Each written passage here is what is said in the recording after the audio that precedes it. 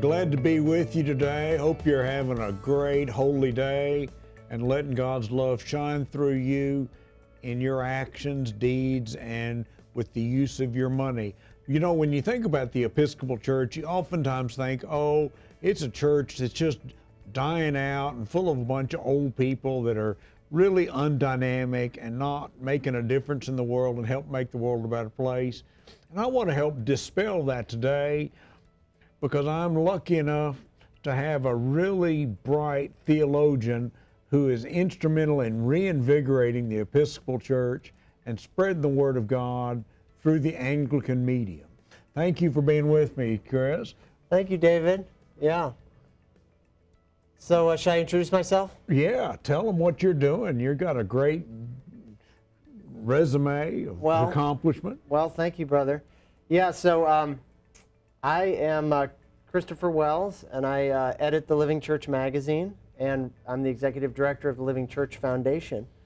And um, David, I know you wanted me to mention that, um, well, we're here in Dallas today, and the Bishop of Dallas, our friend, invited me to come down here a couple years ago and open a second office of the Living Church.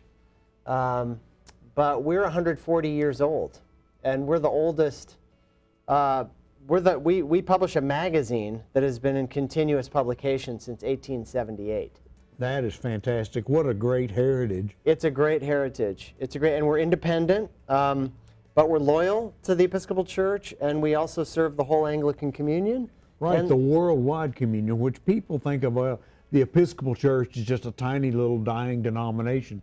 But the Anglican communion worldwide Is a is big. growing and exploding That's and exactly doing the right. Word of God, That's exactly bringing right. people to Christ. Yeah, right. I mean, all the Christian churches are, are booming in the global south, as we say, and especially in Africa.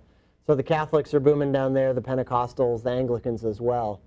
Um, I think as a kind of organized church or communion of churches and Christians, we're the third largest church in the world after the uh, Roman Catholics and the Orthodox. And we're old and ancient. You know, Christians have been in England since the second or third century Maybe after before Christ. that. Maybe even before then. So that's part of our heritage, which, which comes from England and the Church of England, and it's kind of a family of churches that was spread really through the, the British Empire and the Commonwealth. Um, but the, the broadening and expanding of, of Anglicanism outside of England, really the first occasion of it was, was America with the American Revolution. Right. And so we, we're an old partner of the Church of England in this country. And uh, there are great parts of our history and a lot to be proud of, amazing leaders. Lots of Episcopalians have been influential Americans. Um, Episcopalians played a great role in kind of forming the Anglican Communion in the 19th century and the early part of the 20th century, partly because Americans uh, sent out missionaries all throughout the world as well. Um, and then, you know, in the latter part of the 20th century, we've sometimes had our disagreements, and the Episcopal Church has, you know, become a little bit more of a progressive force in the Anglican communion, a liberal voice, as you and I were talking about. But um, we're still in the communion, and there still are kind of traditionally minded uh, folks in the Episcopal Church as well. And so that's really what, what I'm about and what the Living Church is about. We are a kind of um, traditionally minded magazine and ministry, um, but we, uh, we stay in the Episcopal Church and we, we work with, with folks really wherever we can, just like Christians are supposed to work with one another and with, and with, uh, with everybody uh, you know, in the world that God created, really. Well, you know, because I don't represent the national church, I can give a, a ceaseless plug for Church of the Incarnation, which is a wonderful, traditional, very scriptural, and uh, intense worship experience that I really look forward to every Sunday. And I get to see Chris there when he's not out in the world spreading the word of God and helping Yeah. people network and grow That's together. right. Yeah, I love to travel, and you know, the Living Church's ministry has just been kind of exploding, which has been really fun. Um, I'm in my ninth year editing the magazine now, and we um, we're growing. The circulation is growing in a print a print publication. Of course, we Which have, is unbelievable. it's all- it's unbelievable. And you've got a really dynamic web presence. We do, yeah. Uh, livingchurch.org is the website, and um, and uh, you know we publish a couple other things as well, and increasingly we're getting into teaching. um, and educational type things. And so we've recently introduced the Living Church Institute as a kind of umbrella for all the teaching things we're doing. But we're doing conferences uh, throughout the world, actually. You know, we have, we have one coming up this June in, in um, Oxford, and I'm planning one now for 2019 in Canada um, and throughout the U.S. We haven't, we haven't taken Africa yet for a conference, but we probably will because um, we have friends throughout the world. Um, but conferences, and so, and I travel a lot and speak and teach, and I teach at several of our seminaries. So it's true, I travel a lot. But when well, I come back I was to so Dallas, glad we could get you in today to share the good news about what you're working on. Well, thank out you, of your busy schedule of networking and yeah, conferencing and educating. And I think that's one of the things that you can get out of going to their website, subscribing to their magazine. I'm a huge fan of old print media, and the magazine is beautiful. it is beautiful. It's printed on wonderful paper. It's a rich theologics with discussions of scripture in each issue That's right. out of the common lectionary. Yep. And uh, And practical stories, encouraging stories, encouraging uh, you know stories of growth and you know evangelism and uh, people you know putting their money where their mouth is and being courageous and sacrificing. And uh, we have we have a great team of journalists who do kind of like old-fashioned you know research and stories and they tell all sides and, and they're also international. I've got two editors in England actually. really, Um, and we've got a whole bunch of kind of stringers. Um, what I'm looking for, actually, what part of the, we're, we're doing our first endowment campaign ever. right, which is really exciting to really build sustainability for the next hundred years. That's right. And the business, of the, the core business of the Living Church, which is printing the magazine, and we also publish uh, the Episcopal Musician's Handbook, the business is, is running great. I mean, we're, we're running in the black now. I passed my first surplus budget this year. But the endowment uh, campaign is going to fund growth of program and teaching and more conferences and discipleship and uh, gathering young leaders. That's Right. actually part of our vision here in Dallas to use the space. Um, but just to say that uh, once we scale up a little bit more, once I have a little more capital, uh, i- you know, in the bank, um, I'd love to develop more journalists in the global South, because we don't have any really good correspondents right now from Africa, who are African writers writing for us. And I've, I was a missionary in South Africa. I've been to East Africa. We really need um, part-time journalists in West Africa, South Africa, and East Africa. So if you're watching this show on the internet and are moved, if you're in the Anglican Church in the global South, which we reach through the miracle of internet TV and our website inspiredwithdavid.com, you can check out the livingchurch.org. Of course, they are in the early stages of their endowment campaign. Would love to have your support. It's a worthy cause. I'm a supporter of the Living Church and um, Chris's incredible work.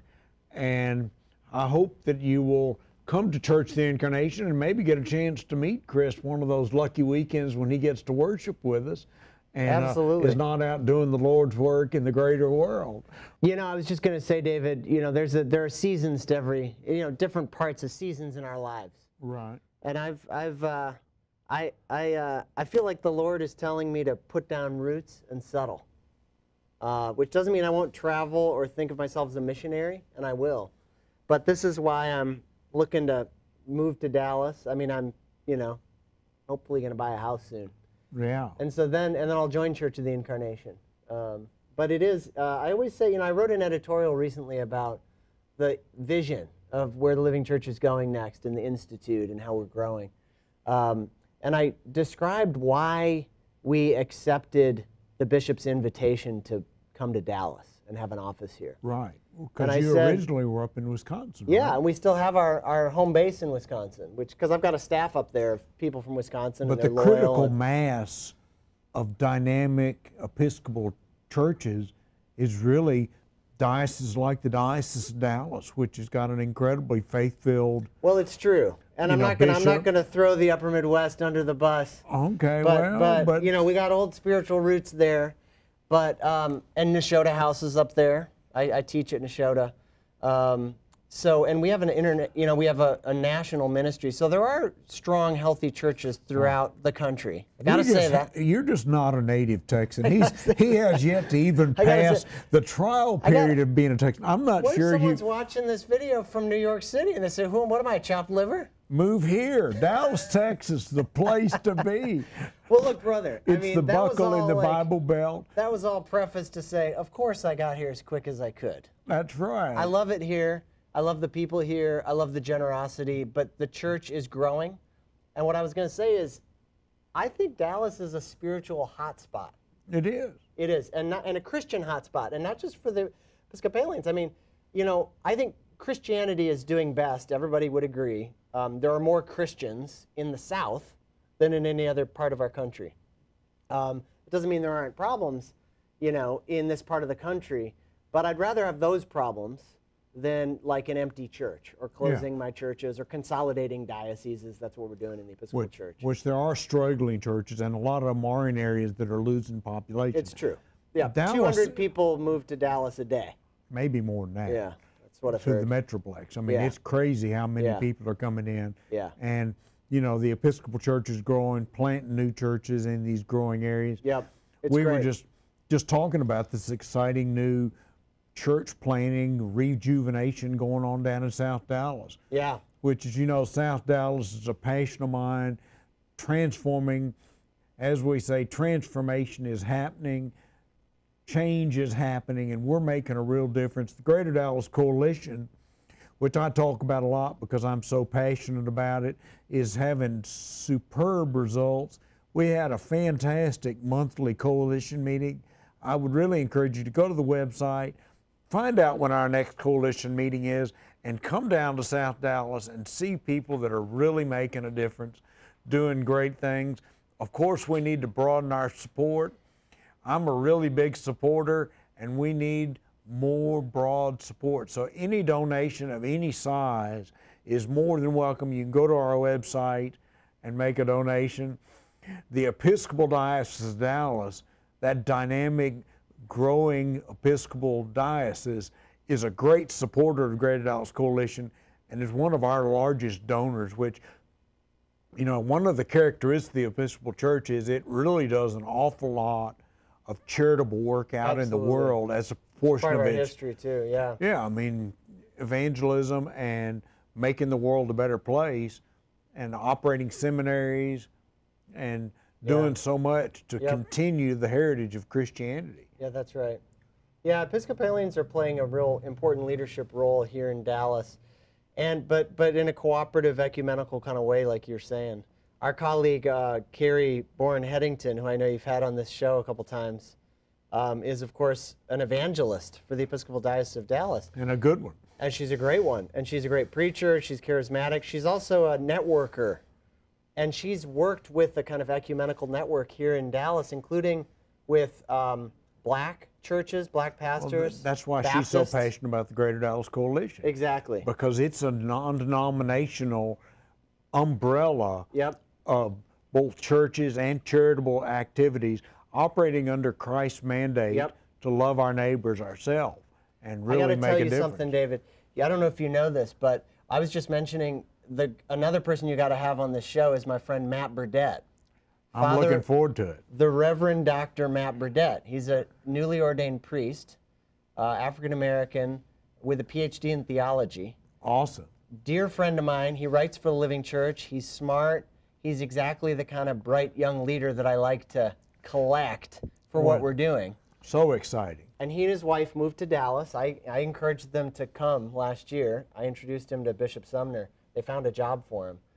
And he's at the Episcopal Church of, of the Good Shepherd on the north side. But at the diocese's encouragement, they've partnered with Our Savior Church in South Dallas, which is an old, kind of declined Episcopal church. They have like 12 people on a Sunday. But they have an amazing garden um, that, that grows vegetables and feeds the neighborhood.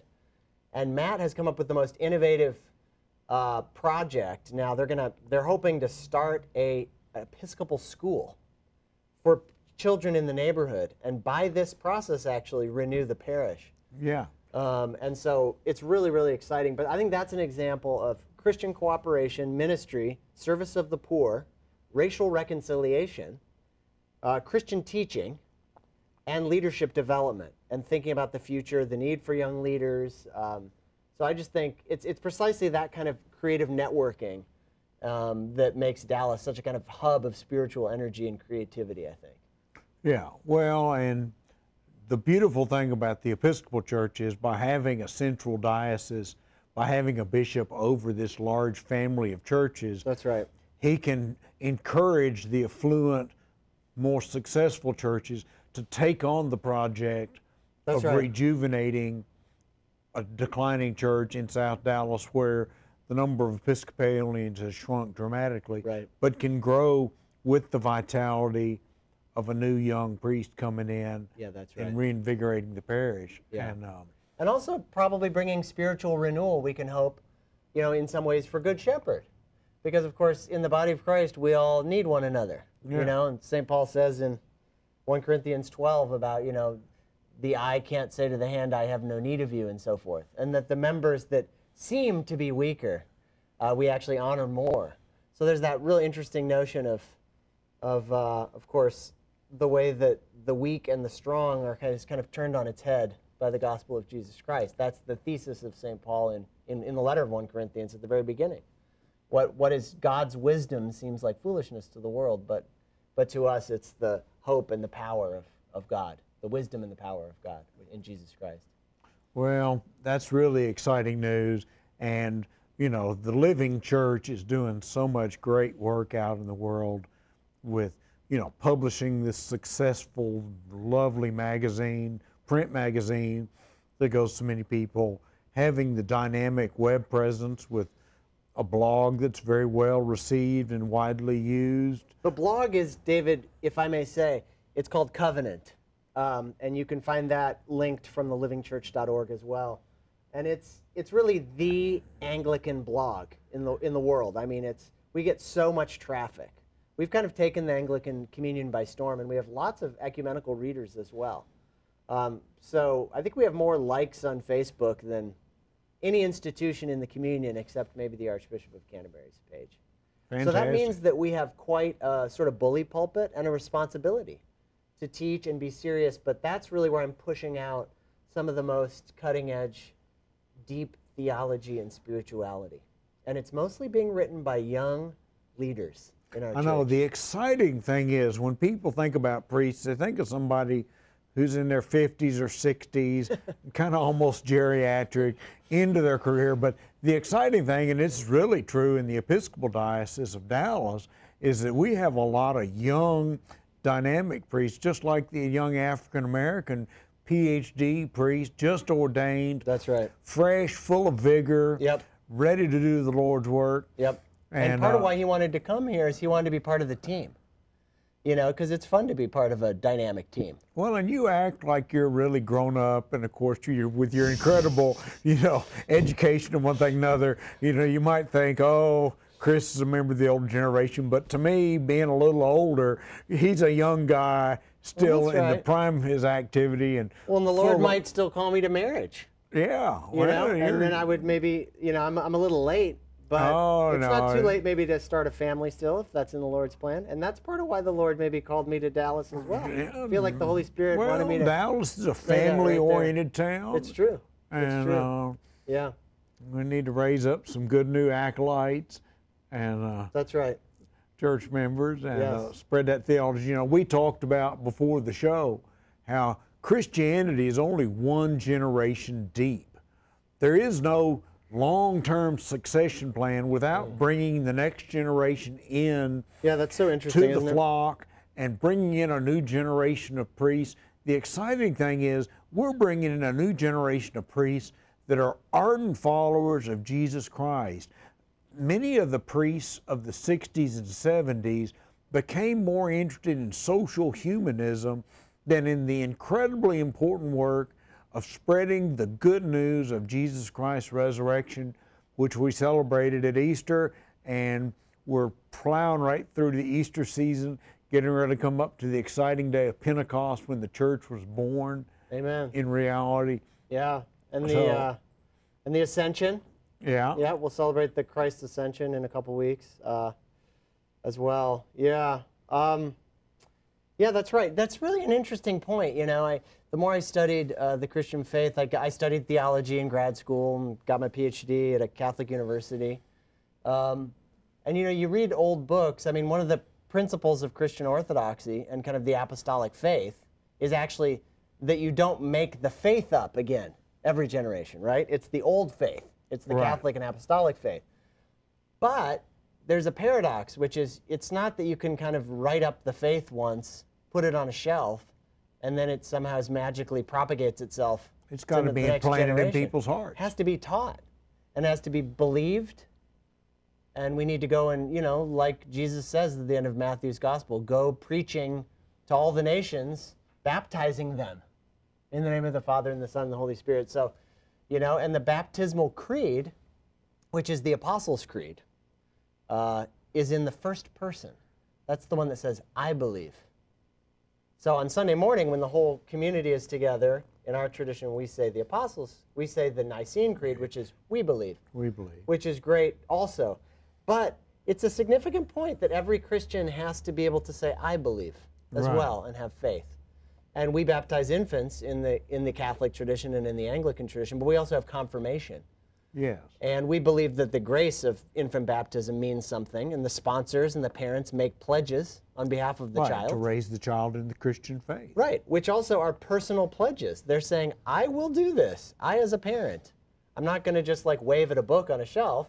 I will teach it, and I, I will speak out of my own faith in a plausible and compelling way. Well, and infant baptism is about that grace is given, not earned. Yeah, You know, in right. terms of there's not a lot of things you have to do to receive God's grace. You don't have to go through an educational process. right. God's grace is here That's for right. us all. It's not about head knowledge, but but you know, But I head mean, all knowledge of, is great. But all of the New Testament does say we need faith, you know. And Aquinas, I wrote my dissertation on, on Aquinas, the great um, 13th century theologian. But he said, you know, there's no essential part of the faith that couldn't be known by an illiterate old woman. He has a, a line. Um, so it's not about being all fancy pants with your education, but it is about getting across the essentials of the faith, which are basically in the creed, Right. and, and being able to say that with authenticity and to believe in God and pray. That, but that is interesting, isn't it? That our work is never done really as long as the Lord tarries and we have new children Right. and new generations. We have to teach the faith and, and, and evangelize those who haven't heard. Well, and it's important not to live your life like the second coming is tomorrow, because we, none of us know the time or the place. That's right. All we can do is carry on doing the Lord's work, spreading the Lord's word, spreading the good news, with the expectation that the second coming is a long way away. Now, many people say, oh, the second coming may be just happening tomorrow. Sure. The world is in such disarray. People have been always saying that, and it's Sure. important to hope for the best and prepare for the worst. The worst is you die tomorrow, so you need to have your faith in order. You need to ask Jesus to be your Savior in your Mm. life. Don't wait till tomorrow because you may not have tomorrow coming, but don't plan your life like you don't have tomorrow coming. Yeah, that's right. You gotta, that's interesting. you gotta live both ways. The both and, yeah, that's right. Yeah, there's the interesting sort of theme in Scripture about you know, you know, sleep or awake, you know, and, and don't don't be asleep when the Lord comes. right. so there's always a piece of me that thinks, golly, you know, I'm going to bed. I'm, I'm tired. I hope the Lord doesn't come in the middle of the night or blame me, you know. But of course, there's a paradox there, because I mean, the spiritual truth, you know, St. Paul says too. I think it's in 1 Thessalonians, you know, about pray unceasingly. Yeah. I've thought a lot about that. You know, what could that mean? I mean, obviously, if you were just praying constantly the whole time talking to God, you would never go to work. And you wouldn't get anything never- done. You wouldn't share Right. God's love in the world. But I think the point is to cultivate a spirit of prayer. And the more that I've grown as a Christian with daily prayer and praying the daily office and reading scripture every day, it's the power of the Lord's Prayer saying, Thy will be done. Isn't the Lord's Prayer is so incredibly The Lord's powerful. Prayer is amazing. And it's in the Bible. Yeah. Jesus said the disciples say, teach us how to pray. And he says, pray like this. So it's right from God's mouth. Pray Yeah. like this, our Father. Um, and of course, in the Christian tradition, I mean, in the long Christian tradition, people will pray the Lord's Prayer multiple times a day. It's, you know, you pray it in the morning. I pray it right when I wake up, before I get out of bed. I claim the day for God and I give my life to God. And it's the radicality of thy will be done. When you really Yeah. think about that, it's exactly what Jesus said in Gethsemane to the Father um, Not my will, but thine be done. Yeah. And what in effect you're saying is, my life is not my business. I'm giving my life to you. You make of it what you want, Lord. I'm your instrument. And Right. that, I think it's when we get in that spirit that we're praying unceasingly. Then our lives become a prayer. Our whole lives become a sacrifice and an offering back to God.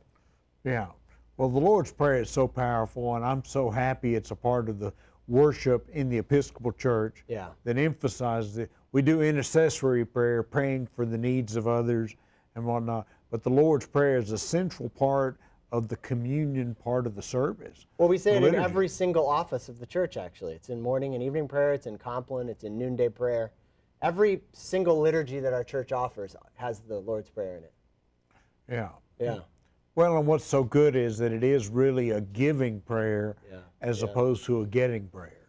Yep, it's, a forgiving prayer as well. Yes, forgive us our trespasses, as we forgive those who trespass against us. Yes, yes. Such an incredibly powerful thing. Yes. We're not asking God to forgive us and we don't have to forgive others, but it's a conditional forgiveness That's right. that we agree that we're going to forgive others as so As the- we've been forgiven. We've had a really exciting show today with Christopher from the Living Church, livingchurch.org. We're just really filled with the Spirit today, and Chris is always a thought provoking, intelligent man. Please go to their website and subscribe to the magazine. I'm a huge fan of old print magazines, and I want to do everything I can to keep them going and vital. Over 140 years in publication. Yes. Let's make it another 100. So have a great day and look forward to seeing you in church. Take care. Bye.